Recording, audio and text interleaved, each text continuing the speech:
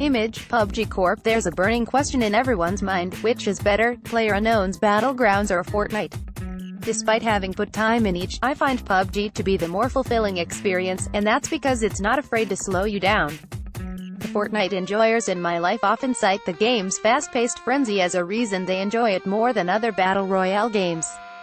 It's true that it's a game that rewards action. Running around more means you're going to get more materials for building. Building more, and getting practice at it, means that you're going to be able to create defensive structures in more strategic ways than your less practiced opponents. Furthermore, winning and losing in Fortnite is faster. Games go by quickly, and if you then you can just queue up and be right back in a game with very little downtime. The problem is that I like the downtime. Back when PUBG first started getting big I wrote about the things I loved about it. Playing as a solo player, it can be a calm, tense experience that is punctuated by firefights that could either end in an instant or drag on across the landscape for minutes at a time.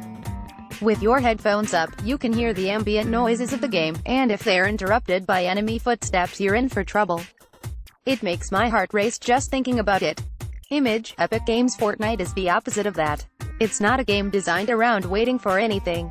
Instead, you're encouraged by a small map size, the ever-enclosing electric storm, and the highly visible building system to come into contact with other players.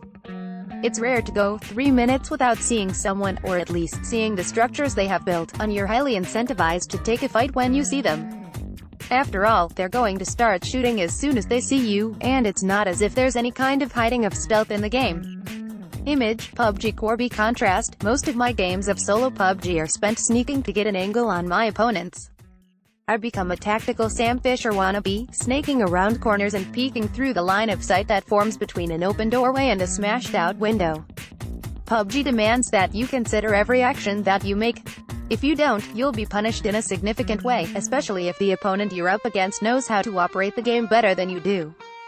Crucially, this is not a question of tactical realism or S ceilings, or any of the other ways that competitive games get compared. Instead, it is about what each game encourages me to do in its world. Fortnite is a small world full of violence that wants you to have an arcade-y experience of fun and shooting. It does that, and it does it even better with your friends. Image, Epic Games known of this is bad. It's just not what I enjoy from the Battle Royale genre. Instead, I like the idea of making a good plan, picking a position with a good sightline, and picking off enemies as they approach me. I like the rush of dodging gunfire over a long distance before storming a fortified position with some grenades and a scar. I like the long calm before the lightning strike. I realize that many people don't play the game this way.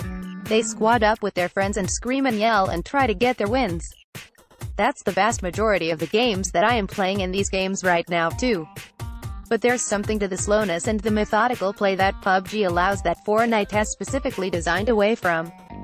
That slowness is something that I love, and I can't help that it makes for a game that I enjoy playing more in PUBG.